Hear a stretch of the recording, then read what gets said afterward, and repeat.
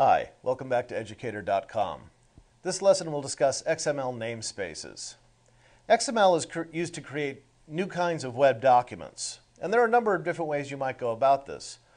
One way might be to simply create your own new set of elements and make a new document type out of those, or you might take element sets from different existing document types and combine them.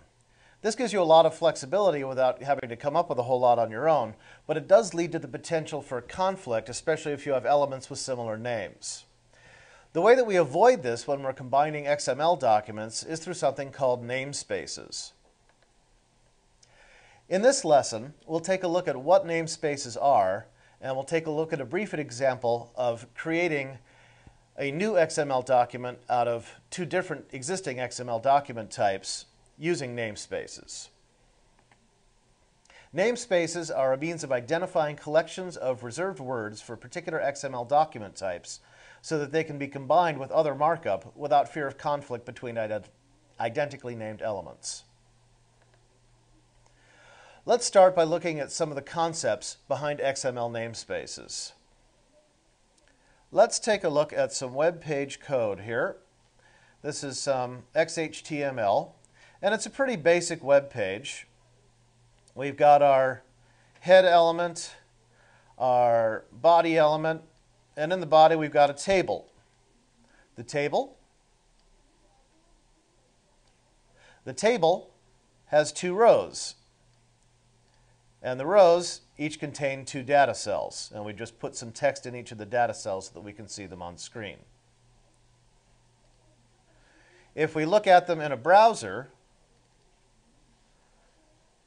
the browser realizes that we are laying out tabular data, which is what the table element is for in HTML. And so it puts one row above the other and lays out all the data according to the way it would look if it were in a table. Now let's say that we have another type of XML document.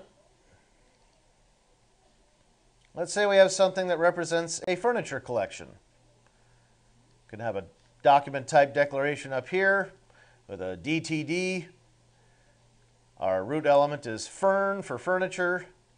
And so here we have a fern document. And as we might have a table or love seat or chair, we have a table element here in our furniture collection, only instead of rows and data cells, we list the material the table is made of, the number of legs it has, and what size it is, and we could think of any number of other elements that might go into a furniture collection document for a table. So the question is, what would we do if we wanted to combine these different document types and we wanted to use both an HTML table and a furniture collection table, and we don't want to confuse whatever program we're working with. This is where namespaces come in.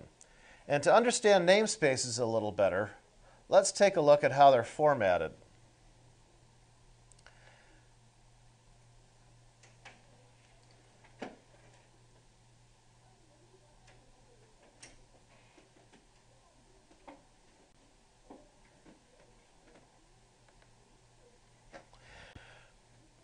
Namespaces are declared in the same format as web addresses, but they are not locations.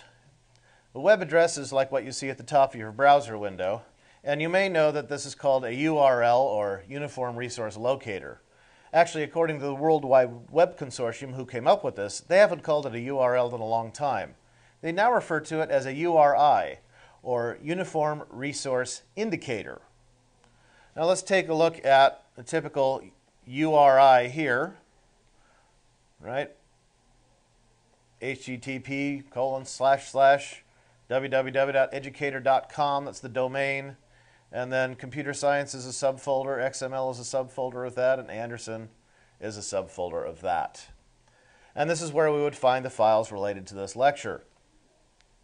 The syntax is borrowed from the Unix file system, where the double slash indicates the server, and subsequent slashes indicate subdirectories.